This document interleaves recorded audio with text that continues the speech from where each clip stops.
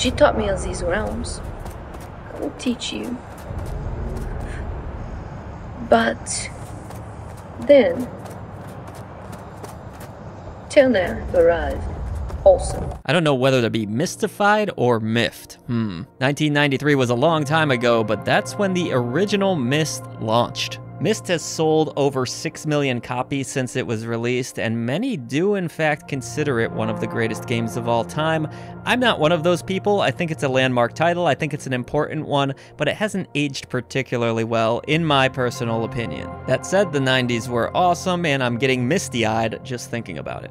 Since then, developer Cyan Inc., also known as Cyan Worlds, have created quite a few games, including many sequels to Myst. I believe they got all the way up to Myst 5 at one point or another, and there was even a Myst Online. I never made it that far myself. Let me know in the comments below if you did. Now, having lingered in development since 2018 when the developer launched a Kickstarter, Firmament has arrived at last, which is somewhat of a tribute to the Myst games of the past. Oh, but with a nod to the future, because that's right, there's VR compatibility. I played the flat screen version. Yes, don't worry, you can. Firmament is a puzzle game, of course, and it takes place from the first person perspective. There is a little bit of a story to be told here, but it's rather cryptic as you might expect. Firmament begins in a fallout shelter of sorts where your mentor tells you that you are alive for the first time and she is dead. You are now known as a keeper and she was previously a keeper. You are given a tool known as the adjunct, which is your main tool throughout the game that can be upgraded, and then you're just basically told to go explore the realms no real meaning behind why you're protecting them or doing whatever you're doing. But perhaps, as you play more, those answers will come.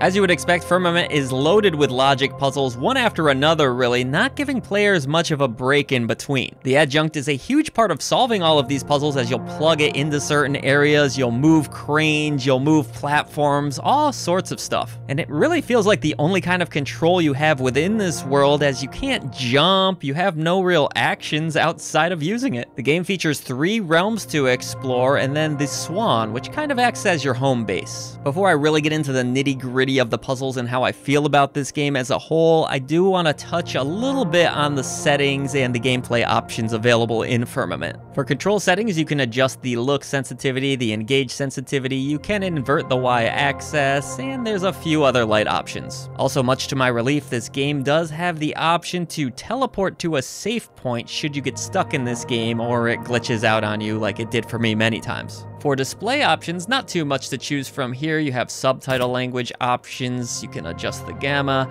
and there is actually HDR in this game should your monitor support it. For audio settings, you can adjust quite a few of the sliders in this game, but interesting here is that there's a creator mode, and I guess this is for content creators so that they can stream the game without running into monetization issues? I don't know, maybe I won't get paid for this video, but that's fine, I do it for the indies, damn it. Lastly, you have your graphical settings, of course, you can choose your window resolution, super sampling, VSync, frame rate limiting, all the good stuff is here. There are some quality presets as well. I was able to run the game at high. There were some frame rate issues here or there. I again will touch on that more later. All right, so how does the core gameplay of Firmament play out? A lot of walking and a lot of puzzle solving as you might expect. The puzzles are not so straightforward. They are solved in a very particular way and often frustratingly so. As puzzle games have advanced throughout the years, developers have really learned to give players breaks in between these puzzles, different options, things you can do just so you don't burn out. I think of The Witness as one example where you can wander around, choose whatever puzzle you want to do in any order you wish. Firmament is very much against this new gameplay principle. I guess it's not really new anymore, but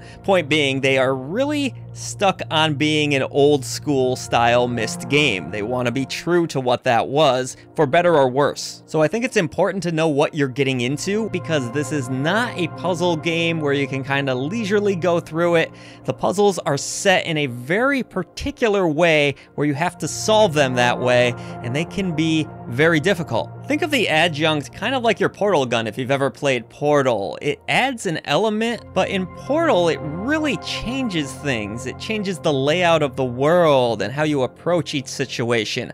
That didn't feel like the case in Firmament. You do get upgrades, but they don't really add much. The adjunct is really cool, but the formula kind of just becomes stick it in a hole and see what happens. Go ahead and make your joke. It's not that the puzzles in this title are particularly bad, they're actually fairly well designed, but I'm not sure they were all that fun for me personally, and I just didn't really feel any drive to get through them because the world was dead and uninteresting, and the story didn't really do anything to carry me forward. Also, Firmament just likes to break, at least on the review build it certainly did. Not only was my frame rate hitching here or there, but some of the puzzles just broke completely. I was stuck in this nightmare zone at one point. This is one of the craziest glitches I've ever seen in a game.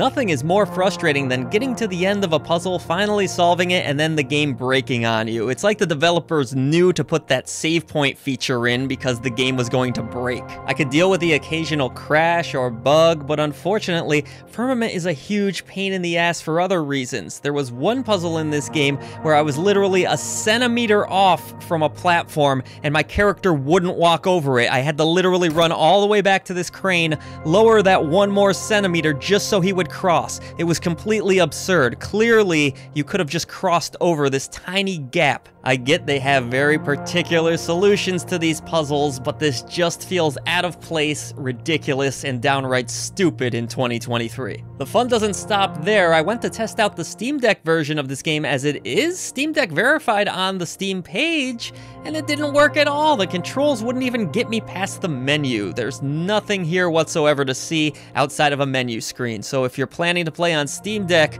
you might not get past that point unless they get a fix out in a hurry. Hopefully they do. Visually, Firmament is okay looking. It's average at best, I would say. The worlds are very dead. Nothing feels alive in this game whatsoever. I think that's by design, but the result is a world that you don't really feel like you want to be a part of. There is some nice scenery here or there, some snowy landscapes, some more lush areas later in the game, but you do only get those few realms, and to backtrack through them again, well, it just shows you they didn't have the biggest budget for this game, unfortunately. I'm not going to hold that against it, but it's just not super interesting visually. It looks decent. You almost wish that the developers went all the way and fully embraced the old school Myst thing with some campy FMV or something, but it's just very bland, basic 3D environments. Sound is very sparse in this game. There is some voice acting, which is halfway decent. Not a ton of it, but it's here.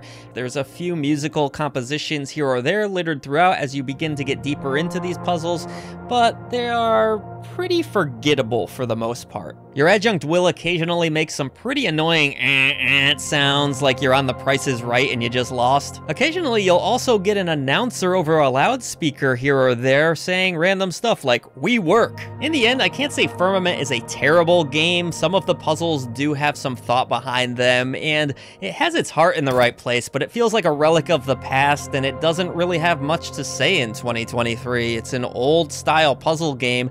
Games have gotten better, to be 100% honest with you, so what's the point? That's kind of what I was left asking myself. I think there is something here for old school Myst fans. They'll probably get a little bit of a kick out of it, but for everyone else, better puzzle games are available, and it just to me felt like a game past its prime.